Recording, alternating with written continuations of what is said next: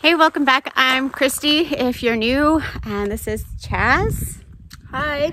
So, today, what we're doing is we're taking um, all of this grass out of the, the pool area um, so we can get it stained um, and ready for planting, um, which will be happening in a few weeks from now. And so, we're going to get to it. And uh, so, yeah, the before. How excited are you, Chaz, to uh, get this pool set up? Well, it's gonna look really nice, and I'm gonna have a fun time swimming in it, so I'm pretty excited. Yeah, I bet. Okay, let's get to work.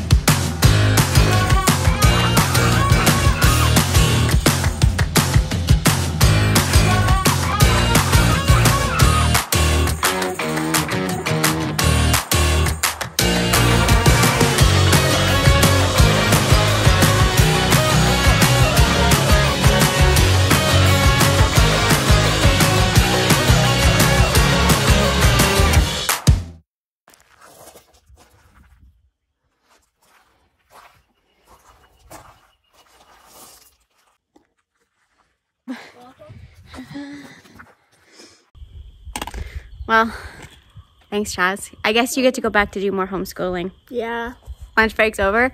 This was kind of like phys ed class, I guess, hey? it would be. Yeah, You work, you work, worked up a sweat. It's warm out. it is. Why do you think I asked you to help me with this project? Well, I think you asked me to help you because it would get done faster, and then in turn we can put those plants in, make it look nice, and we can enjoy it sooner and for a longer period of time. And do you think it's more like work or are you kind of excited to do the work? I, I'm excited to do the work because then I get to go swimming in my pool and have it look nice too. It's it's not like a chore or anything. See? Work ethic. Yeah. Yeah, good old farm boy here. All right, so one project off of my list today. Chaz is such a big help for doing stuff like this. I'm so grateful. Um, unfortunately, that they are at um, doing their two weeks of homeschooling for him to be able to have this opportunity um, to help during the day, but it really helps. and I think he's pretty excited about his pool. So um, I'm just putting stuff away. But I wanted to take a minute and talk about something that I know I'm going to get a lot of, uh, a lot of maybe complaining about. Um, so what a lot of people um, have talked about recently is you see all, it all over posts on social media about making sure that you don't clear out your garden boxes too soon because there's lots of bees and caterpillars and butterflies that are um, living in the mulch and the dead uh, plant matter. So here's my thing about that, about this project. Um, the first thing is uh, I live in zone two, meaning um, my grow season is extremely short. So if I wait too long, I won't be able to do anything. Um, secondly, I won't, I won't be able to grow anything because um, by the time everything wakes up and does its thing, it, it, it can kind of be late in the season. Secondly, around the pool, I don't want bees um, nesting around my pool area. In fact, it's very, very hazardous. So for that reason, um, I do actually make sure that I am cleaning out around the pool area so that there isn't a bee's hive, beehive or bee's nest in those boxes. Um, I know bees, bees lives matter and that's why I have a bumblebee nest that is in my lean-to where my horse hay is and I get stung um, quite frequently in the summertime going in there, um, moving hay around and feeding my animals. So I do understand the importance of bees um, and I absolutely do plant a lot of pollinator um, attractor plants and I do have a lot of food and habitat here for these species of animals. But around the pool area, um, it is not safe um, to have, or in, a, in an area where your kids are playing, it is not safe to have a bee's hive there. The butterflies that may be um, cocooned, the only butterfly that would be in that area, I'm just trying to figure out where to put some tools here. Things get moved around quite frequently. Tyson appreciates it so much when I organize things for him and put them in the drawers where I think they should go. And then I go back and then they're not there anymore and they're in another drawer. Oh, look at that. He even, if only he could make his socks look that neat. Men, husbands, my husband, maybe that's, maybe it's just mine. I don't know, ladies. does, does your, does your husband's tool lock box look a lot neater than his sock drawer? I don't even think my husband has a sock drawer. I think he has like a sock bin and there's three bins actually, I'm pretty sure. Um, anyway, so back to it. Um, I, the types of bugs that would be in those, in that area would be um, moths that are pests. So the only type of moth that would lay eggs um, there would be those cabbage moth ones because that's the only type of butterflies that were there in that area this year because the butterflies weren't in that zone at all because around that pool area there is no real food source. Um, it was just grass. And um, so the butterflies would typically, they um, are populated mostly in our lilac bushes, which is on the other side of our house. So I'm not too worried about butterflies or um, that kind of thing. So I know that there's been some very, very concerned people, and I'm grateful that there's been concerned people um, all over social media and whatnot about making sure that the bees and the butterflies have a habitat and are not killed when you take out the um, take that stuff out of your garden early. You have to remember, I live in the middle of nowhere. Um, we don't use chemicals. Our, the habitat that we have here, um, there's a lot of there's a lot of spaces and places and we have no shortage of bees and butterflies in our area. There was years that there were, I'm not gonna lie. Um, we have gone through phases where there has been a shortage and I haven't, um, I wouldn't, I wouldn't attribute cleaning out garden boxes or raking lawns to the reason that there's no bugs. Um, I think that's a whole other issue. And um, so, you know, consider that um, if you are someone who thinks it was, I was cleaning out the garden boxes prematurely. Again, this is like, we're the 10th or the 11th, I don't know, we're somewheres, this is the, the 11th, I think. This is the second week of May. And I just cleaned out my garden boxes in zone two. So, um, the leaves are not out yet. It is, it is really early for us, but um, for some of you, it's not. For some of you, it's really late. But things are just waking up right now and coming out of dormancy, and I do not want bees um, nesting in my pool area. So I wanted to just put that out there because I know a lot of people are thinking it when they're getting attacked a little bit for getting an early start on their garden projects. And I don't think that, um,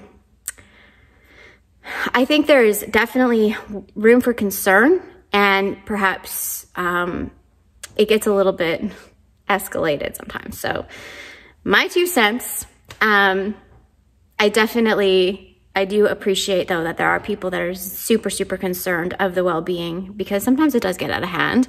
And if you are in an area where there isn't a lot of habitat for bees and butterflies, um, it is something that needs to be addressed. Um, in this area, it's not uh, an issue. We have a lot of a lot of space around where they can live, and um, and in fact they do live. And I haven't come across actually having a bee's nest around the pool area. This is the second year with us having that pool planter and I definitely don't want any infestations of any sort in there of insects. So I have to do my due diligence and keep it cleaned out. Anyways, enough rambling. I should get back to my other work.